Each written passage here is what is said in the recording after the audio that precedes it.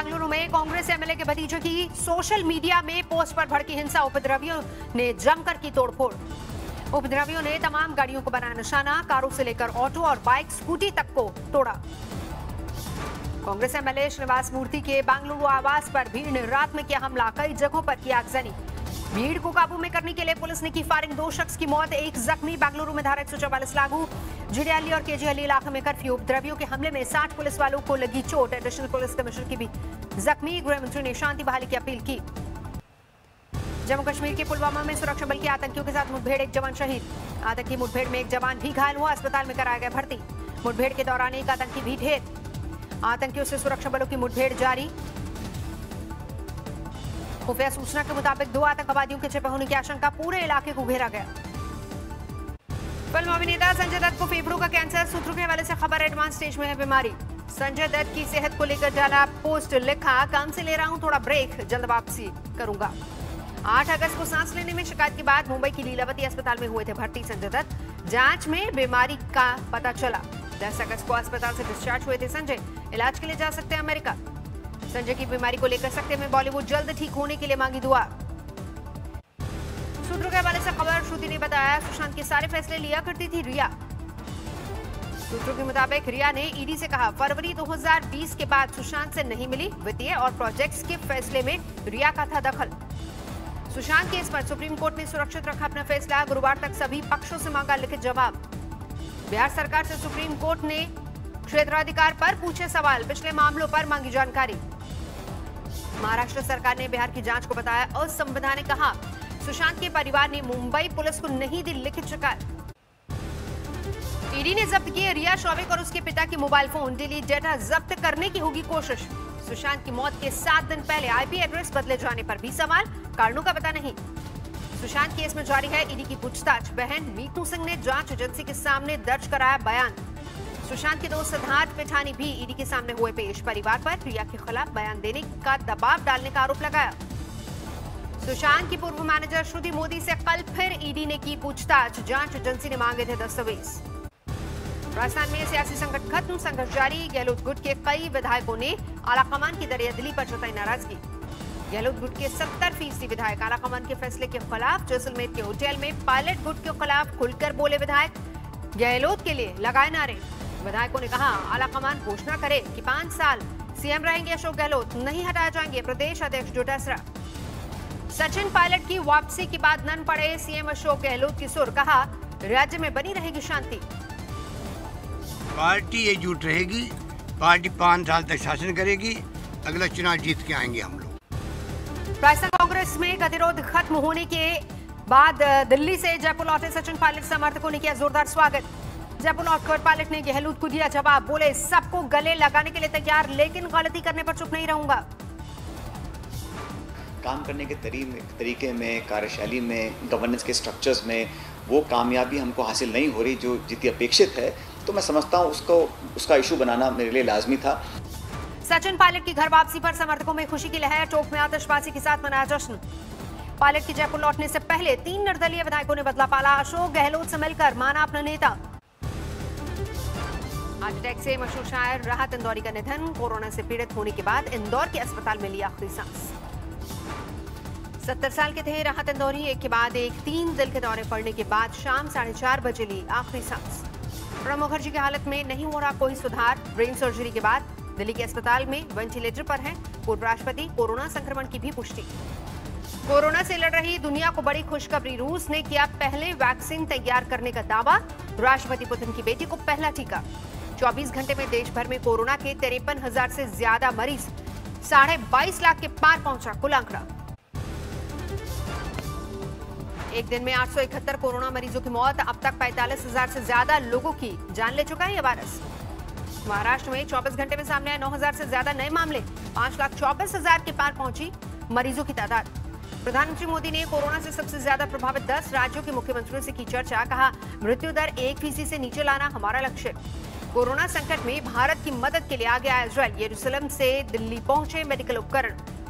सामने आया रांची के अस्पताल का वीडियो। गिरने के बाद मदद की गुहार लगाता रहा मरीज़। डॉक्टरों ने नहीं की मदद। बुलंदशहर में होनहार छात्रा सुदीक्षा की संदिग्ध हालत में मौत। परिवार का आरोप, छेड़छाड़ के चलते हादसे का शिकार हुई मोटरसाइकिल। सुदीक्षा मामले में छेड़छाड़ के आरोप उससे पुलिस का फौरी तौर पर इनकार। कहा, अभी तक नहीं मिला कोई सुराग। स्कॉलरशिप से अमेरिका में पढ़ाई कर रही थी सुदीक्षा। कोरोना संकट में आई थी भारत। मोटरसाइकिल पर रिश्तेदार के घर जाने के दौरान हुआ हादसा। सामने आया बुलंदशहर की घटना का चश्मदीद कहा, अचानक ब्रेक लगने से बुलेट से टकराई पीछे चल रही सुदीक्षा की मोटरसाइकिल। बागपत में बीजेपी नेता की गोली मारकर हत्या। मॉर्निंग वॉक के दौरान अज्ञात हमलावरों ने की फायरिंग। चंद्रपुर में आँखों पर पट्टी बांधकर लोगों का विरोध प्रदर्शन, डीएम के तबादले को लेकर नाराज़गी। पंजाब के तरन तारण में बस कर्मचारियों का सरकार के खिलाफ प्रदर्शन, कोरोना संकट के बीच तनख्वाह काटे जाने को लेकर नाराज़गी। हैदराबाद में बीजेपी का विरोध प्रदर्शन, निजी अस्पताल के भारी बिल को लेकर सरकार के खिलाफ नाराज़गी। जम्मू कश्मीर के कुपवाड़ा में हिजबुल के हथियार, तस्करी के नेटवर्क का खुलासा। सुरक्षा एजेंसियों ने बड़ी तादाद में बरामद किए हथियार। सेना ने दिए शोभिया में 18 जुलाई को हुए एनकाउंटर की जाँच के आदेश। तीन लोगों के लापता होने को लेकर उठे हैं सवाल। मध्य प्रदेश के सिवनी में कुएँ में दो सगी बहनों की लाश मिलने से सनसनी दो युवकों को तलाश रही है पुलिस। गुजरात के सूरत में ऑक्सीजन सिलेंडर सप्लाई करने वाले गोदाम में भीषण आगे की मौत। संगम नगरी में बुलंद हैं अपराधियों के हौसले, दो बाइक सवार बदमाशों ने दहशत फैलाने के लिए की बमबाजी, सीसीटीवी में रिकॉर्ड हुई पूरी वारदात। संत कबीर नगर में हत्या के बाद जोरदार हंगामा, युवक की लाश के साथ सड़क पर घंटों लगाया जाम। राजस्थान के भरतपुर में बाज़ार में चलती कार में विस्फोट से लगी आग, किसी के हताहत होने की खबर नहीं। पंजाब के खन्ना में अकाली दल का यूथ विंग के अध्यक्ष की हत्या, हमलावरों ने ताबड़तोड़ बरसाई गोलियाँ। बिहार के शिवहर में मामूली विवाद में युवक की बेरहमी से हत्या, सगे चाचा पर वारदात को अंजाम देने का आरोप। पश्चिम बंगाल के दुर्गापुर में सड़क हादसे में एक की मौत के बाद सातवें आसमान पर लोगों का गुस्सा, ट्रक को किया के हवाले। स्वतंत्रता दिवस के लिए जारी है तैयारियाँ। तेरह अगस्त को फुल ड्रेस रिहर्सल पंद्रह अगस्त को सुबह चार से ग्यारह बजे तक बंद रहेगा लाल किले और आसपास का इलाका। जम्मू कश्मीर से अलग हुई लद्दाख पुलिस आज मनाया गया स्थापना दिवस। जम्मू कश्मीर में 15 अगस्त से एक एक ज़िले में होगी फोर इंटरनेट की बहाली, दो महीने बाद होगी समीक्षा। मसूरी से सामने आई भूस्खलन की दहलाने वाली तस्वीर, तीन दिन से जारी बारिश के चलते दर के पहाड़ भरभरा कर टूट गई सड़कें। मसूरी में लगातार तीन दिनों से हो रही है बारिश। लोगों की बढ़ी मुश्किलें, दो हफ़्ते के लिए आसपास की सड़कें बंद की गई। उत्तराखंड में पहाड़ों पर हो रही बारिश से हाकार हरिद्वार में खतरे के निशान के करीब पहुँची गंगा। उत्तराखंड के बागेश्वर में आफत बनी बारिश जगह जगह हो रहे भूस्खलन। लोगों की परेशानी बढ़ी। उत्तरकाशी में बारिश ने जमकर मचाई तबाही, भूस्खलन की वजह से यमुनोत्री धाम तक जाने वाला रास्ता ठप। चमोली में भूस्खलन से कई दुकानों को नुकसान, सड़कों पर बिछे पहाड़ का मलबा और दर्जनों पेड़। बिहार में जारी है बाढ़ का कहर, समस्तीपुर में खतरे के निशान से ऊपर, बागमती नदी, ड्रोन कैमरे में कैद हुई त्रासदी। दरभंगा के सैकड़ों गाँवों में घुसा बाढ़ का पानी। घर डूबने से लोगों ने ऊंचाई वाली जगहों पर ली शरण। बिहार के छपरा में आपदा के बीच दिखा अफसर, पानी में डूबे हाईवे पर बाइक और छोटी गाड़ियों को ट्रैक्टर से पार करवाने के लिए किराए की वसूली। पटना में आसमानी आफत लगातार बारिश से विधानसभा परिसर में भरा पानी। बिहार के मुजफ्फरपुर में बाढ़ के बीच हुई अनोखी शादी, नाव पर बारात लेकर पहुँचा दूल्हा।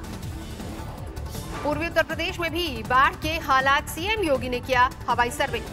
केरल के इडुकी में बावन पर पहुँची भूस्खलन से मरने वालों की तादाद। अब भी जारी है राहत और बचाव का काम।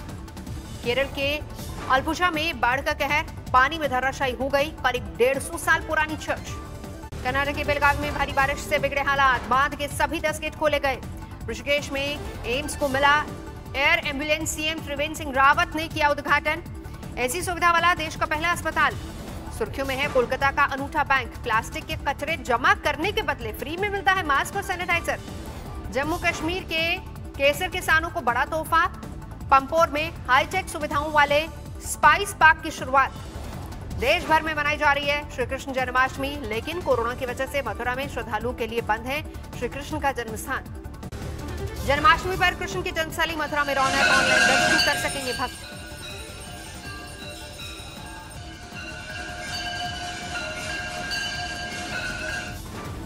मुख्यमंत्री योगी आदित्यनाथ जन्माष्टमी समारोह में पहुँचे, देर रात किए दर्शन। दिल्ली में द्वारका के इस्कॉन मंदिर में जन्माष्टमी की रौनक, सोशल डिस्टेंसिंग के साथ दर्शन। यमुनोत्री धाम में श्री कृष्ण जन्माष्टमी की पूजा। कोरोना के कारण श्रद्धालुओं की कम भीड़।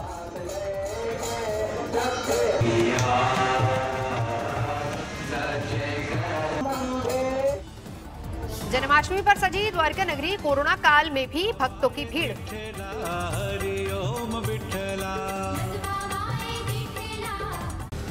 बाज़ार की तेज़ी के बीच चार साल में पहली बार इक्विटी म्यूचुअल फंड से निवेशकों ने पैसे निकाले, एसआईपी से भी निकासी। लेकिन खातों की संख्या पाँच लाख बढ़ी। किसानों के संगठन फाइफा ने कृषि इंफ्रा के लिए प्रधानमंत्री के एक लाख करोड़ के फंड का किया स्वागत, कहा। फ़सलों के भंडारण से लेकर रखरखाव तक होगा सुधार। हुंडई ने लॉन्च से अब तक बेची पाँच लाख क्रेटा। इस साल मार्च में नए मॉडल के लॉन्च होने से अब तक पैंसठ हज़ार यूनिट्स की बिक्री। अगस्त में रेनो टाटा मोटर्स की कारों पर मिल रहा है भारी डिस्काउंट, एक लाख रुपए तक की है छूट। ट्रंप को खुश करने के लिए माइक्रोसॉफ्ट ट्विटर से टिकटॉक की बातचीत, चीन के अखबार का दावा। अमेरिकी फैसले को कोर्ट में चुनौती देगी कंपनी। अरबपतियों की लीड क्लब में शामिल हुए एप्पल के सीईओ टिम कुक।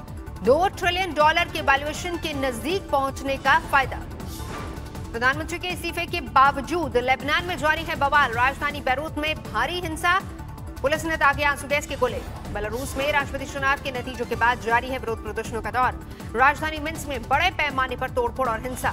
बोलीविया में जल्द चुनाव की मांग को लेकर ज़बरदस्त कोहराम, राजधानी लापास में तोड़फोड़ और बवाल। दुनिया में जारी है कोरोना वायरस की तबाही। एक दिन में सामने आए दो लाख चालीस हज़ार से ज़्यादा नए मामले। नमस्कार, मैं हूँ अंजना ओम कश्यप हमें उम्मीद है ये वीडियो आपको पसंद आया होगा। लेटेस्ट खबरों के लिए यूँ ही देखते रहिए आज तक और इस वीडियो के पसंद आने पर लाइक शेयर एंड सब्सक्राइब करना ना भूलें।